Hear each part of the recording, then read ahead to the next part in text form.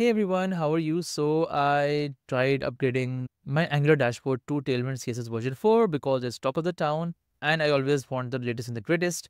So I went to the upgrade guide on the Tailwind CSS official website here and they had a nice little migration utility that they said that you it's going to do the heavy lifting for you and migrated. I ran that after some changes and uh, the result was my nice looking dashboard that you see here actually converted into this. Okay, so it completely broke my app the styling was completely off. You can see the forms are off like this. So it was a nightmare. But the good thing is I fixed it after a few changes, after a few installations, and I finally got to figure this out. So in this video, I'm going to show you exactly how I did that. There are some extra steps required for Angular projects.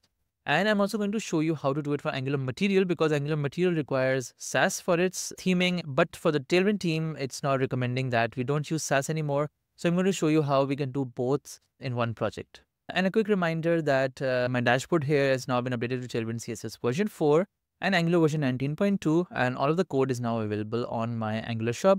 Uh, you can find the link in the description if you want to get that and if you get that right now, you're also going to get lifetime updates for free. Okay, so let's start this migration process uh, from the state that we were previously in. So that would be my dashboard with Tailwind CSS version 3 installed.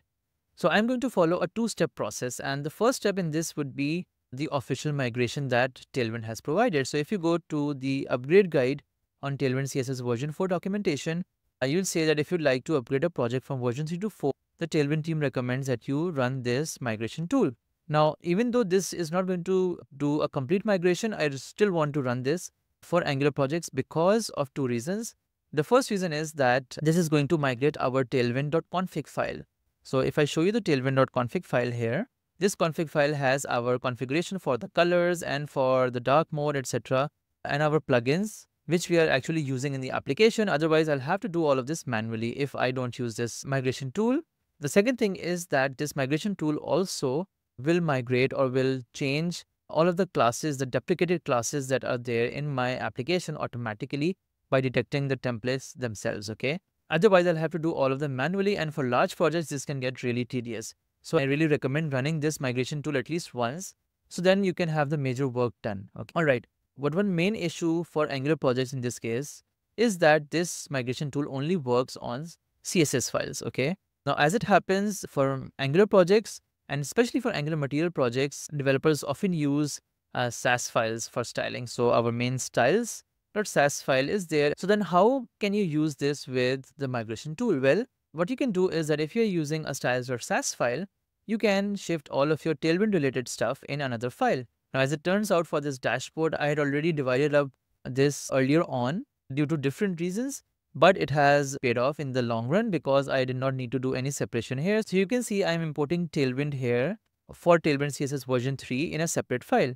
So all I needed to do was that I just needed to rename this. So I'm just going to rename this tailwind.sass to tailwind.css and I'm going to rename this import to this as well.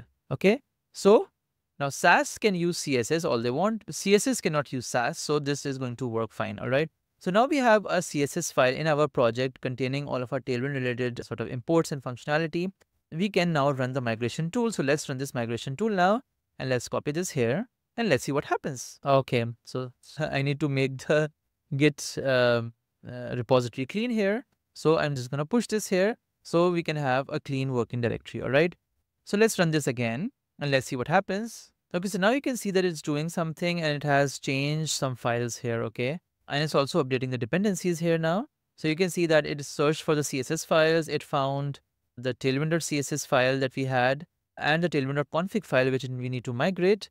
Then it migrated the JavaScript config file. Then it migrated the templates to the non-deprecated versions of the um, classes that it were needed. It migrated the style sheets that were needed. And then it had updated the package. Okay, great. Okay, so the first major change you're going to see here is that the tailwind.config is no longer here. So if you go in your files here, you will see that tailwind.config is no longer here. And there were a lot of changes in tailwind.css. So if you go in tailwind.css, you're going to see that it's going to import tailwind here like this and it has plugin custom variant dark it's using css here and it's defining all my colors here in this way so this is the major change that happens and the second change is that it made some changes in my different templates here so you can see that it has for example if i go to the widgets panel you can see that it made some changes here. For example, yes, it made the change Z2 and Z2 here like this, okay? So this is your major work done. But if you try to run your app right now, let's run our app right now and see what it looks like. First, we get an error here on this. So I'm just going to comment out this line here because this is giving me an error. This is to initialize the colors, but I guess we don't need it at this point. So now it's compiled now and now let's go back to our application and see what it looks like. And you can see our application does not look quite right here, okay? So the drag and drop is working. So the functionality is working, but the styling is completely off. Nothing works in the style because almost all of the styling is Tailwind based in my application, okay? So you might come across this, don't panic because the second step in the process is where we are going to uh, make Tailwind version 4 work for Angular projects specifically, okay? Okay, so the second step in our process is actually to go to another link which is sort of hidden deep within somewhere on the Tailwind site and that is install Tailwind CSS with Angular which has Angular specific instructions if you want to install the latest Tailwind CSS version 4. This process has changed a bit and that is why we are not getting Tailwind version 4 to work just by the migration script. So it says here that you can create a new project, that's fine. And you need to install Tailwind CSS. Now you can see that we install Tailwind CSS, PostCSS as well, and then PostCSS separately as well. So we need to install all of these things. So let's just copy all of this. Tailwind is already installed. Let's just install the rest of the stuff as well. So let's just call this here. Okay, so now you can see in your package.json, you can see here now that you have Tailwind PostCSS. So PostCSS now comes now as a separate package within the Tailwind CSS namespace here. Okay, so you need to install that. Okay, great. So this step is done. Now the last step is that we need to actually create a new file here and this is a crucial step. So you need to uh, specify the Tailwind CSS PostCSS plugin here in this file. So let's copy this here. Let's create a new file here in our source folder here. Okay, let's create a new file here. Let's keep the name exactly as this. And then within this, we are going to copy this plugin here. Let's build it again. Now make sure to build this again and not rely on HMR because sometimes the changes are not propagated in that way. Okay. So now when you try it out, you can see that my dashboard is back to its former glory and all of the Tailwind classes are working. Okay. At least most of them are working. Now what you need to do is you need to actually find out the limited areas where, you know, the changes are not there. So for example, in my case, when I drag and drop here, you can see that I remove some padding here. So in that case, what I needed to do was that I needed to go in my widgets, in my widget component here, and I just needed to make this important so that the padding applies in all cases. Apparently it was being overridden by some reason. So I'm just going to save this and you can see here now that this padding is now appearing fine.